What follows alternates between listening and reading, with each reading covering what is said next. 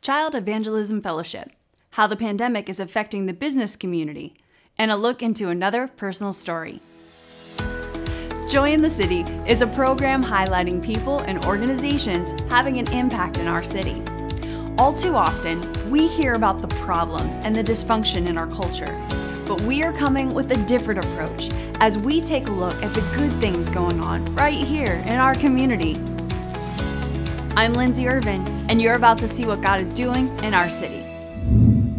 We want to thank our program sponsors, Park Home, for the donation of furniture used in our studio. Taylor Design and Events for beautifully decorating our studio space, and our platinum sponsor, Harry's Construction, for their ongoing support of Joy in the City. Taking the gospel to every child, in every nation, every day, is the daunting task of Child Evangelism Fellowship. Carrie Biddle, the local coordinator for the South Central chapter, shared with us her heart on this incredible ministry. Thank you for coming and, and joining with me today, uh, having a little discussion. First of all, tell me a little bit about you. Well, I'm Carrie Biddle, and I'm a born again believer in the gospel of Jesus Christ, first and foremost. I am, um, my husband and I have been married for 24 years. We've been together 26. We have two sons. Bryce, who's 22, and Brock, who is 21. They both attend UPJ, and I'm very busy with them as well as being the coordinator because Brock is on the starting lineup for UPJ Wrestling. So through the winter, we're pretty busy traveling as well as um, me being the local coordinator for Child Evangelism Fellowship. Wow. So let's let's get into that. Mm-hmm. What is Child Evangelism Fellowship? Child Evangelism Fellowship is a Bible believing worldwide organization who's composed of born again believers whose purpose is to evangelize boys and girls with the gospel of our Lord Jesus Christ, to disciple them in the Word of God, and to establish them in a local church for Christian living. Our vision is to reach every child every in every nation every day we actually are 83 years old this year. Reverend Jesse Overholtzer had started it back in 1937. It was placed upon his heart, a burden upon his heart, to share the gospel with children. He was convicted to do this ministry and start this ministry when he heard a sermon from Charles Spurgeon that said, A child of five years of age, if they are properly instructed, they could believe in Jesus and be regenerated as an adult. And in that conviction, he started Child Evangelism Fellowship. It was incorporated in 1937. And so our main ministry of what we do the heart of our ministry is the Good News Clubs. They started in backyard Bible clubs and homes and in, then in churches. And then now we do, by the Supreme Court um, ruling in 2001, that we could go into schools and provide Bible clubs, our good news clubs, where they're an hour and a half long. So that's what we do. And then during um, Governor Dick Thornburgh in the late 80s had wrote a law stating that we, public school age children, could um, have one hour of religious education a week. So we can take our programs as well into a release time class. So that's the heart of our ministry okay. is reaching the children through these clubs with the gospel of Jesus Christ. So the focus is on uh, in in school environments is whenever this ministry is taking place. A lot of it is. Okay. We do have various uh, facets to our ministry as well.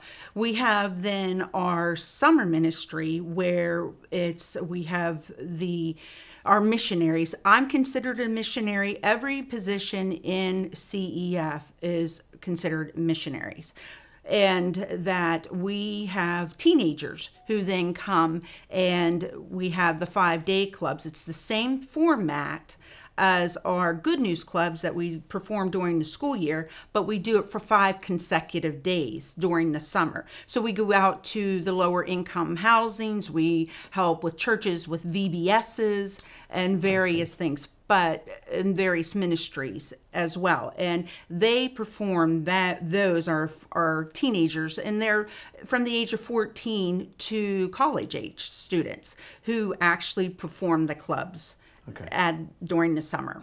So, how many people uh, do you have involved in this, at least locally? Locally, yeah. what we have right now, as of last year, we had eight clubs. We had together through the school year. Now, with COVID, one of our clubs could not um, start because the school had the schools had closed at because it's usually in the spring. However, we typically have now eight, and we have two release time classes in, in the Tussey Mountain School District. We have a release time class. We have in Altoona School District plus two after school clubs. And then we have two after school clubs in Hollidaysburg School District as well, with a total of 19 volunteers. And we reached 200, I mean, 236 children last year. 78 of those children received Christ as their Savior. Wow. Yes. That's so. God is working in our area. It's phenomenal how even with this small amount, this just this summer, our our clubs were eight we were running about 40% with COVID. However, we reached 90 children with the gospel and we had one actually 16 year old that received Christ. I led her to Christ, a very authentic situation where she was a helper at one of the clubs and at a church and she was a part of their van ministry and in the course of the the club she came and asked me and we went and um, she accepted christ as her savior so that was really a neat all worth it you know Yeah. for the ministry Definitely rewarding. very see those results. yes What, definitely what would be uh, maybe one story of a, of a child and you've seen an impact that you could share just so, so people can get a glimpse of what this looks like in the life of a, of a kid? Sure. Uh, one of our clubs that we had it was Amy Green's at Ebner Elementary. She's a school teacher there and she's a Christian. And so she conducts a club. And she had been praying for this little boy at the time who was um, just in first, second grade. And he, her, his family, they know is not the best situation but how the Holy Spirit was leading him that day is that as they were praying for his salvation, is she was talking about the resurrection of Christ. And he stands up all excited. You mean not like CPR? You mean he was revived? And she said, Yes, the resurrection. And that day he accepted Christ as his Savior. So you never know how the Holy Spirit's going to be working in them and what's going to trigger it. It's really exciting to see. Very much. Yes. So So, what if somebody wanted to support you and get connected? What is something that they can do to do that? We have various. Um, actually, I am the only one in my office right now. My administrative assistant had left for college, so I am in need of an administrative assistant right now. But you, we are always accepting volunteers. But we are, we are in need. The harvest is plenty, and our our president, Lu- um, Reese Kauffman, is did the Luke 10 2 mi- initiative where we're praying earnestly for the labors because the harvest is mm. plenty and this is a worldwide organization mm. and we i'm only in nine schools of the 30 of 32 in here in our because I am the coordinator for Blair, Bedford, and Huntingdon counties.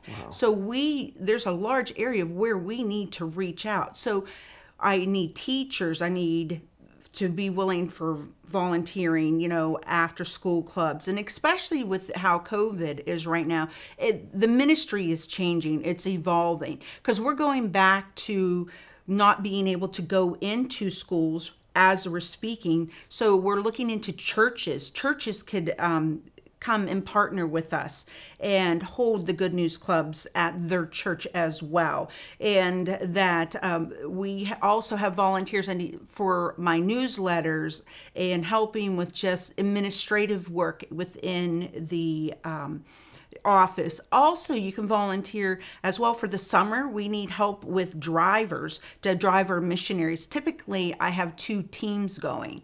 We have about 19 to 20 clubs through the summer, and I have two um, consecutive teams. So for that as well. Now you have to have your clearances, and Yep. we go through that whole process, and we have our paperwork that we have to do. And as long as you meet with that, then and for training i do all kinds of training that for the volunteers as well to come in and help them prepare for teaching Oh, good. So they're Yes. not on their own. No, not at all. We actually have a wonderful support, and that's what I'm there for. We go through a training of them where we it's called Teaching Children Effectively. And I am a part of my requirements to become director. I'm actually doing everything as a director, but I'm the local coordinator right now. I have to do uh, a process of education requirements that I need, and I am almost done with that. But a part of that is becoming an instructor of teachers. And so I can go into Sunday like churches and help Sunday school teachers even become and develop Okay. their Bible lessons and incorporate the gospel into those Bible lessons even more. And that training I specifically is required for our teachers who are going to teach at our clubs. And then I come alongside of them, and it depends on if a church is supporting them or not. I train this, all of the volunteers because everybody in a club has a task to do and has a position to fill and i train them all on what the requirements of those are Wow, 'Cause fantastic. our clubs exist of a um, we start with a wonder time and that's where we do like a small group bible and we we counsel the children to do devotions and then you know encourage them to that then we go into some songs and we do play some games but uh, our main focus is our memory verse and then we have a word up that's fun that they do and then we also have our bible lesson as well that in that with that is where the invitation is given. And we teach the the um, teachers to be prepared for that as well. And then how our ministries what we use is the wordless book as our counseling. So we'll teach them and i train them thoroughly on that as well. We take it very seriously that they're teaching god's word and we um, do not want anything misrepresented. Well, let me just say, I think it's fantastic what you do. Um, I was not aware of this till we, we had the prayer time at your place. Yes. And uh, I think that it's fantastic. I think it's needed. And uh, I just wish you well, pray for you and your organization. And we'll see if anybody who maybe watched this can uh, come alongside of you and support you as well. yes thank you very much Thank for you. having me Absolutely. If you know a person or organization impacting our city, we want to hear about it. You can contact us at 814 944 1948 or email us at stories at joyinthecity.org. Continuing our month's theme on the effects of the current pandemic, we wanted to hear from our local business community.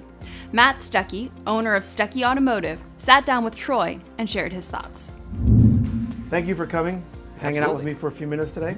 Uh, first of all, as we start, will you just tell me a little bit about yourself? Sure. So uh, I grew up in Hollidaysburg, graduated from Hollidaysburg High School, and uh, moved away for a few years to go to college. And my first job was uh, in the Harrisburg area. But I've been home for 17 years now. So I'm the third generation of my family working in the car business. And, uh, you know, it's, time goes fast. now you've been expanding, and I've been seeing some things lately online and everything. Sure. Talk a little bit about that. Yeah, so so uh, I've been running the company myself for 11 years, um, and we had about 70 employees 11 years ago, and we should hit 250 on the pace we're going here this year. We're just hit, about to hit 240. So That's awesome. Uh, so yeah, it's growing pretty good. We're actually five companies now, um, and uh, most recently we expanded up into State College, so just getting up and running up there. So yeah, it's going. It's fun. Everybody that. needs a car, you know. Yeah, indeed. so, uh, right now, this year has been unique for all businesses, uh, Sure. particularly yours Yeah, as well. yeah. So, talk to me a little bit about how this has impacted you and your business with coronavirus. Well, it's been uh, just a crazy year. I mean, you know, we were mandated to close our sales departments uh, uh, by the state of Pennsylvania back in March. Uh, that lasted just over a month, and so then we were, you know, allowed to open kind of on a on a limited internet only basis, um, and you know, has been quite frankly very strong since then. Um, our service department stayed open the entire time. Uh, you know, people did need to get their cars fixed and, and Sure. maintained and, and those kind of things during that time. It's been a real challenge to manage from an employee standpoint. We were one of the companies that unfortunately had to do a, you know, a significant furlough there for, for a period of time. Very thankful that everybody's back and has been back for several months now. And, and, Now, do uh, you find that people, uh, because of job situations and different things, people maybe not have uh, the money they did a year ago? Are people buying cars back again, or is it still kind of? I mean, we're still catching up? behind last year in total in total volume, but uh, we've had several strong months through the summer here, and uh, boy, if I knew what the next few months were going to bring, it, it almost feels normal right now, which I hate to say because understand. you know, but here we are in the first week of September, and and uh, hopefully we can kind of just be be normal. But uh, I'm I'm not in charge of that. So. Sure. so, from a, a business, not just your sales, but from your business, your Sure. employees, your workers, how has this been uh, the the challenge of all this? How has it been for your company, the morale, and all that kind of Yeah, stuff? well, inside? obviously was not on our radar. You know, we've certainly had uh, ups and downs in, in the vehicle sales market, driven by you know external forces, economics, uh, you know, uh, you know, crises, those kind of things. But certainly not something on my radar was having to completely stop selling cars. You know, we've seen the market drop by half at various times, a third. That's not unheard of.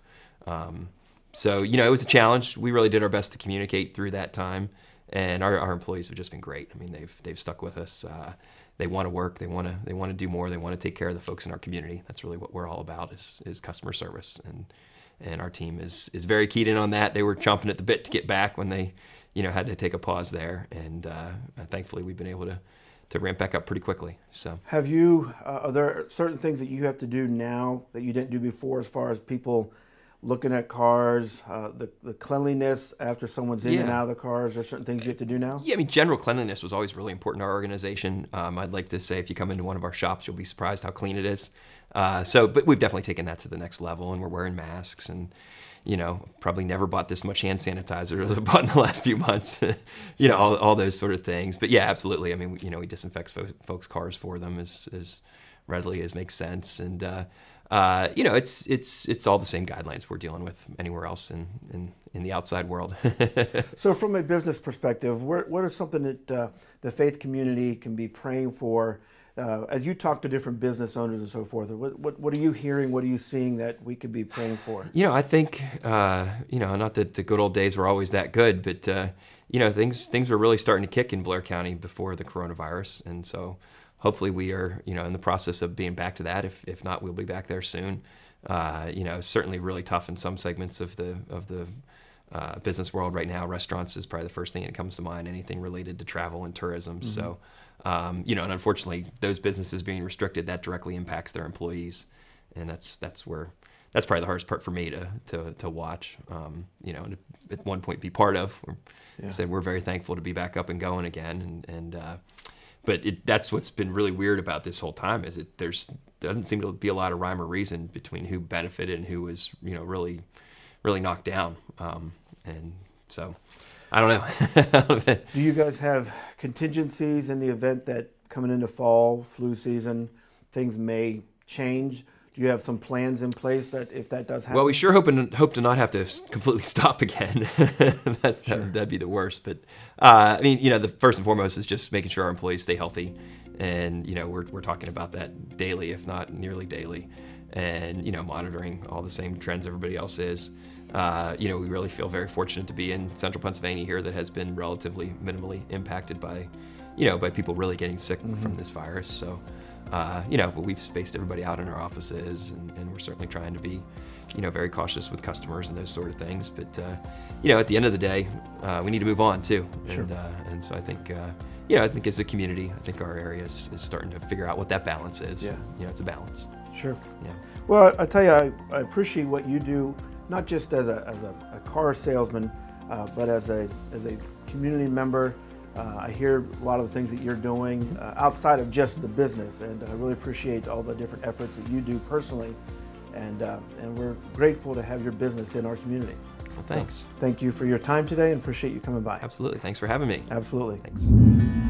Today's platinum sponsor is Harry's Construction, whose motto is If you can dream it, we can create it. Be sure to visit Harry's Construction Kitchen and Bath Center at 114 Main Street in Bellwood. You can also visit their website to see pictures of home improvement projects over the years. Our final segment tells of another great personal story from those in our community. I'm Dano, Dano Burkhart, and this is my story. Uh, first thing I always get asked whenever I meet new people is, How did I end up in this wheelchair? And what happened to your legs? So, hopefully, I can explain that a little bit today, um, answer those questions, and sh- share with you the awesome things God has done for me in my life so far.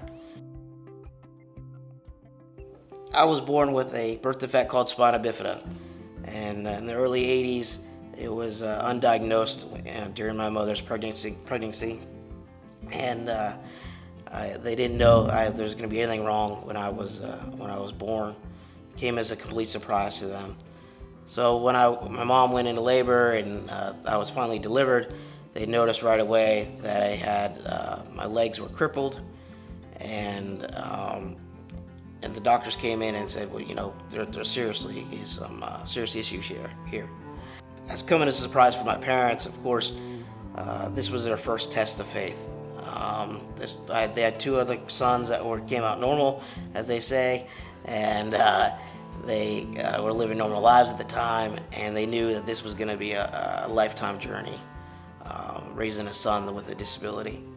And so my parents took me home, and and you know, a couple months later, you know, I'm starting to hold my head up, and then I'm starting to roll over, and then I'm starting to, to crawl, and then I'm starting to climb, and then climbing on everything, just like a, a normal normal kid. And, uh, and then my, you know, having two older brothers, they start beating me up just like everybody else, you know. And uh, and I had a pretty much normal childhood up until I was about six years old. And when I was six, I got called. Um, we had an appointment at my doctor's, and they were noticing that I wasn't, I didn't have enough room in my body for my organs, and my lungs didn't have enough room to expand. So they ended up contacting this other uh, team of doctors that have done this surgery once before in the whole world. And they um, brought me into this auditorium with all these this team of doctors, and they just they were trying to come up with a game plan on how they were going to make me taller. And to me, it was kind of exciting. They put me in an auditorium with like a hundred something doctors, and uh, I'm in this big auditorium and I'm up on stage and I'm like crawling around on the stage and on this table and and behind me they have all my x-rays up on this screen and they're actually figuring out this game plan on how they're gonna uh, make me taller and what they ended up coming up with was they were going to take my legs take my tibia bone and they were to put it in my back and rebuild my spine out of my out of my leg bone um, so to me, as a little kid, I didn't really understand it too much, but as but my parents, of course, were were totally um, totally had to rely on their faith in God at that point. That they had to trust these doctors, that they knew what they were going to do to be able to save my life. My parents started raising me with this, with a I, call it a can-do attitude. They didn't put any limits on me. Um, after a few months, after I got the cast off, I was back to climbing on everything and, and getting on the counters and getting in chairs and, and doing all those types of things. And, and to me, was starting to become a more of a, a normal child again. Kids, you know, kids can be, they don't know, but they're very blunt. And they would come up to me and just say, hey, what happened to your legs? You know, why, why are you in this wheelchair? Like, what, where'd your legs go? You know, they'd come up and look under my pants, you know. It was like, what are these, what are these kids doing, you know? And, uh, and I knew I was different. And I would go home and I would tell my parents, I would, you know, tell them kind of how a rough day I had about how these kids were treating me in school and things like that.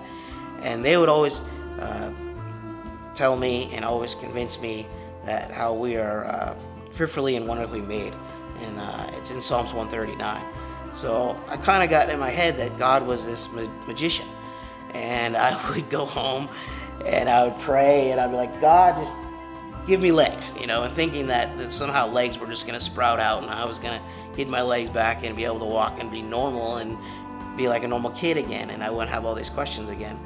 And, uh, and obviously that's not how, how God works. And I, I learned that at a very young age that uh, God is not a magician and, uh, you know, everything is, is for his, his plan in my life.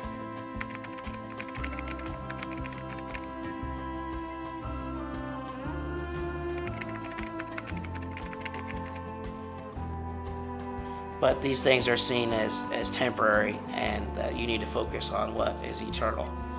And, and again, I'm drawn closer to my relationship in God at this point. I know we all are. We all seek Him when, uh, when, when there's trouble.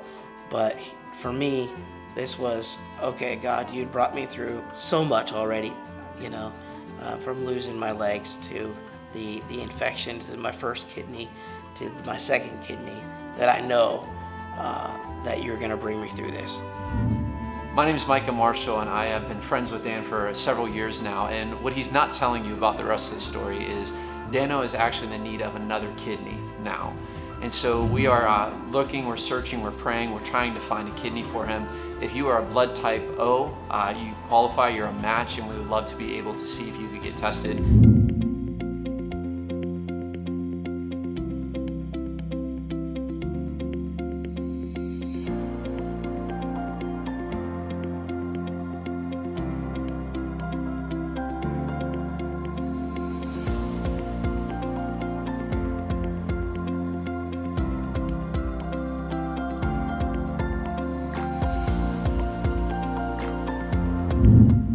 Hey guys, what's up? It's Dano. I just want to call and give you guys an update on what's been going on. Um, I was able yesterday to get a kidney transplant, and uh, I got it uh, last night at about 4 o'clock in the afternoon. It was pretty cool because I actually got to see it. But man, this is awesome. I'm like so happy. It, it, everything has gone really well for the last uh, day and a half and uh, the numbers already are coming down. And uh, i'm able to go to the bathroom now which is a huge thing because i haven't been able to uh, to use the uh, go pee in about two years. So that, has been awesome.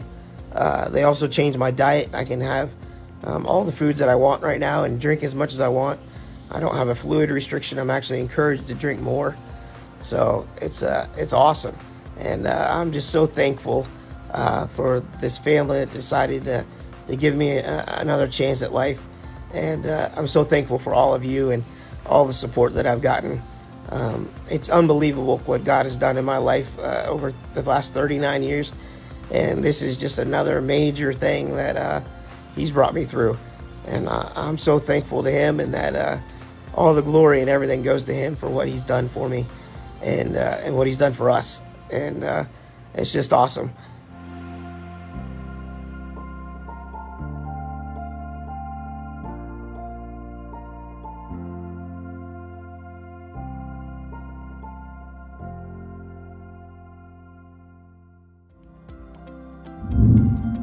If you have a personal story or a testimony that you'd be willing to share with our community, we'd love to chat with you about it.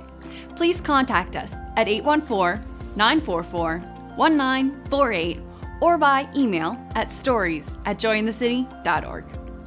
That's all the time we have today. Thank you for watching Joy in the City True Stories. Let me encourage you to watch other episodes of people and organizations having an impact on our community on ABC 23 at 5:30 a.m. and 12:30 p.m. every Sunday.